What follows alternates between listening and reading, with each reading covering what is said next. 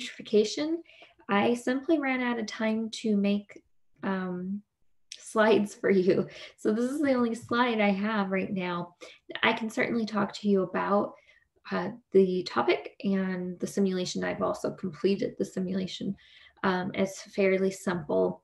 Um, so probably the hardest part of this would be the nitrogen cycle.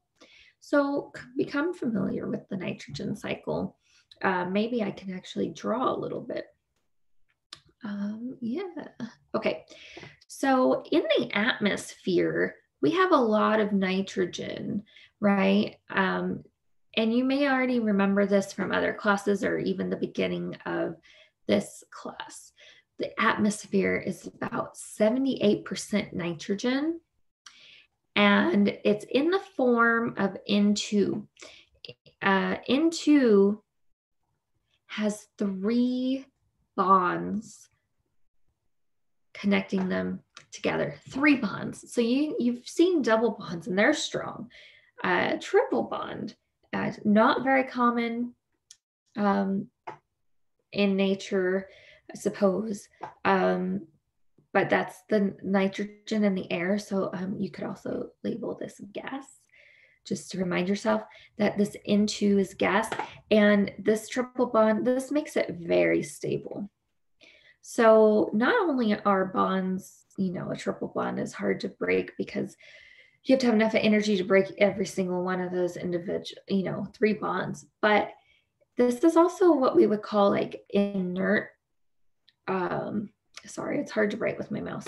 Um, but N2 is, is a stable or inert, um, or another way to say that would be non reactive. I should have just let you take those notes instead of writing them down. This is very sloppy. But it's a non reactive, reactive, forgot what I was writing, non reactive molecule. Okay. Now, we can't use this. Uh, very, very few organisms in the in the entire Earth are able to take N2 gas and utilize it. So it's very special when you have nitrogen fixers or fixation, nitrogen fixation, fixation. And nitrogen fixation takes N2 gas and produces NH3, which is ammonia. Ammon, ammonia. Okay, don't confuse that with ammonium. Ammonium is NH4 plus. Okay, so it's the ion, uh, one of the ions that can be formed from ammonia. Okay, so this is ammonium, ends with the um. Okay, uh, and this is ammonia. Okay, now ammonia is good. We can use that. A lot of organisms can use ammonia. Um, plants have to have ammonia, and plants cannot do this process of fixation. So, fixation is by few specialized organisms like bacteria and fungi. Okay. Um, and so that's taking the gas out of the air and metabolizing it and releasing ammonia. So that's fixation. You will see in the simulation that we have um, other parts of um, of the cycle, um, the nitrogen cycle, um, include ammoniification, ammonium ammoni ammonification. So it's a weird word. Um, and maybe I can. Whoa, what did I do? Hold on. I'm gonna pull up another slide real fast and just type this for you. So ammonification this is um, this is when uh, decomposing microbes like bacteria and fungi are able to break down organic material. So like dead plants and animals. Example, um, and they're able to break that down and release ammonia, NH3, okay? Um, but that's not the same as the nitrogen fixation, which are microbes that take N2 gas and make ammonia NH3. So this is, though it seems the same because you're getting ammonia as the product, they're not actually the same. Um, and we need both of these to be able to occur. These decomposing microbes will also help replenish carbon and other things as well. But right now we're just thinking about the nitrogen cycle. So we're not talking about all the other components. Um, then you also have um, ammonium, which I was mentioning is uh, NH4 plus. And um, that can be um, certain microbes um, can convert ammonium to nitrite and nitrate. So you also need to know that nitrite is in, mm, sorry, I'm thirsty, NO2 plus.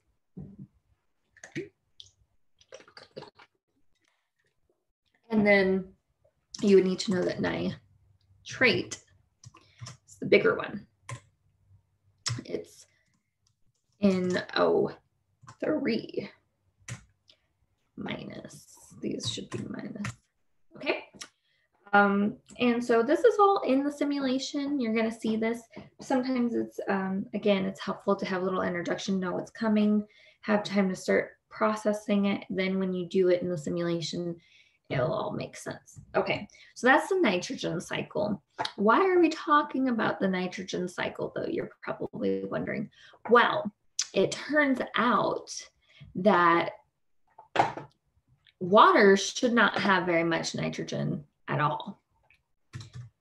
And when too much nitrogen gets into the water, it can allow the plants of the water, essentially, they're not, they're algae, okay? They're not actually plants, a different hierarchy, right? But um, I like to think of algae as kind of like water aquatic plants. Okay. Um, and so you can have algae that normally are in small amounts because they're limited the amount of nutrients that's available to them. But if uh, runoff water from fertilizers, for example, gets into the water, now you have a high amount of that nutrients, then the algae can, what we call an algal bloom. And algal bloom is just a massive amount of algae. In fact, so much algae that you can see it completely transform the appearance of the water. Um, it can become brown, it can become red, sometimes other colors, um, and you'll see some of that in the simulation as well. So the, the biggest cause of this is from fertilizers, but it can happen from other um, like industrial applications and, and such. And it doesn't have to be just runoff water that goes from the surface to a drain to the ocean or lake. Um, it can also be, um, it can leach down into the ground and get down way into the to the groundwater called the um, the water table or the water bed, or even uh, sometimes referred to as watershed. Okay, so sorry for all the terminology, but that's how environmental science is. Okay, so uh, so it can e either go straight down all the way down through the ground and get to the water that way, or it can run off the top and get into the water that way. Um, when the algae become very numerous, initially you're going to get a lot of oxygen in the water because algae perform photosynthesis. And the outcome of photosynthesis or waste product of photosynthesis is oxygen. But what happens is that uh, the algae are eventually going to die. And they're going to sink to the bottom of the sea if it's if it's or the lake if it's a lake. And when the dead algae sink to the bottom then you're going to get a huge amount of bacteria um, decomposing bacteria to start eating that dead organic matter and that the, all those bacteria are going to grow to large numbers to eat all the algae and they're going to use up all the oxygen and so this leads to hypoxia. And so I want to highlight that.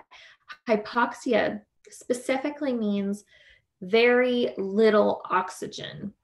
And so let's go ahead and put in parentheses less than two parts per million. So very, very little oxygen. Okay, Anoxia means no oxygen left in the water. And so when you get to um, hypoxic levels, uh, hypoxic uh, depletion levels, then it creates these uh, dead zones, right? There's not enough oxygen to support the life that's there, and things start dying. Okay, so that actually goes